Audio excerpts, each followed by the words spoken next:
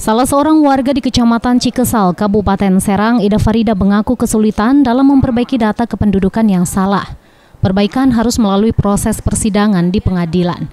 Meskipun data yang salah hanya berbeda tanggal lahir, namun tetap harus sidang sebanyak dua kali sampai keluar surat penetapan. Hal itu sangat dikeluhkan warga, apalagi sebelum sidang warga harus mengeluarkan biaya tambahan Rp60.000. Selanjutnya membeli 6 materai Rp10.000 dan biaya operasional selama mengikuti persidangan. Ida Farida mempertanyakan sulitnya prosedur perbaikan data. Menurutnya perbaikan data kependudukan sangat rumit dan merepotkan warga. Karena harus melalui proses sidang, selain itu pemohon juga harus mengeluarkan biaya kembali. Hasil pantauan di Pengadilan Negeri Serang, hampir setiap hari ditemukan warga yang datang ke pos bakum untuk perbaikan data kependudukan. Iya, katanya harus sidang dulu pengadilan. Kok bisa gitu sih? Saya juga agak ribet kalau sekarang mah gitu. Harus Padahal sidang ini juga. perubahan tanggal lahir doang kan ya?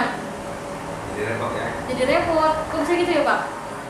Sementara Kepala Dinas Kependudukan dan Pencatatan Sipil Kabupaten Serang, Abdullah menjelaskan, kesalahan data kependudukan berbeda huruf tak harus sidang, terkecuali namanya bertambah panjang atau pendek. Meski demikian, sebelum diarahkan ke pengadilan, pemerintah daerah akan melihat kronologis kesalahannya. Apabila fatal, maka harus disidang sesuai aturan Dirjen Dukcapil. Karena dalam data itu nanti semua berlaku. Kalau udah ada putusan pengadilan, itu semua datanya bisa.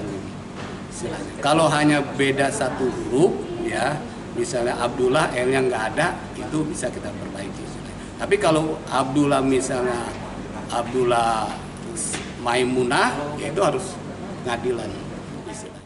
Abdullah menambahkan, perbaikan data kependudukan mencapai 5 persen. Sedangkan yang diarahkan ke persidangan hanya 10 hingga 15 orang. Data saat ini berbasis elektronik yang terakses langsung ke Dirjen Dukcapil. Maka dari itu data harus benar-benar valid dan sinkron dengan semua dokumen. Riki Pratama, jurnalis Banten TV dari Serang, memberitakan.